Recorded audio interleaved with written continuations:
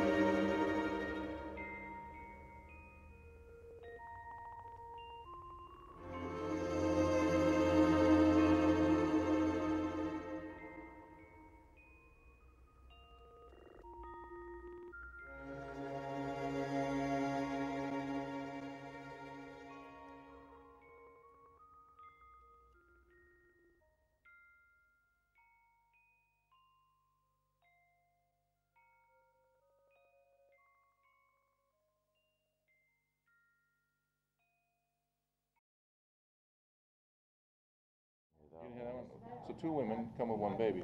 Both say they're both say they're that's my baby. Well, how do you know that?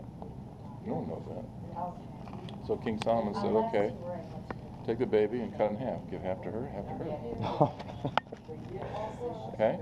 So what was the wisdom of that? So what do you what do you think happened after he said that? He's about ready, he's about ready to cut the baby in half. Um, What do you think happened? How much does a mother love her baby? a lot. Okay. She go uh, go crazy and uh, So the real mother said what? Don't do it. Matter of fact, give, the real mother said, "Don't do it. Don't kill my baby.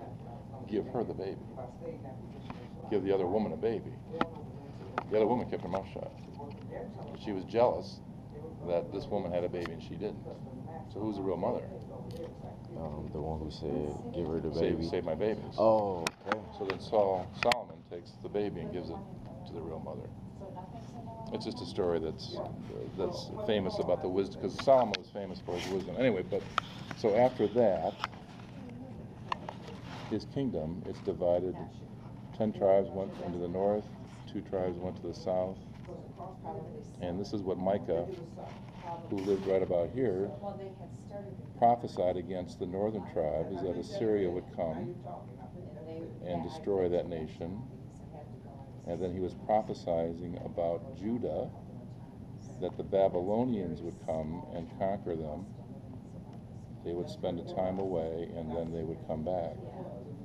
So Micah was talking about the northern kingdom ending, about the southern kingdom going into exile and coming back, and then even going further in the future and talking about the coming of the Messiah in Bethlehem, and then even further in the future, even beyond us, about the millennial kingdom.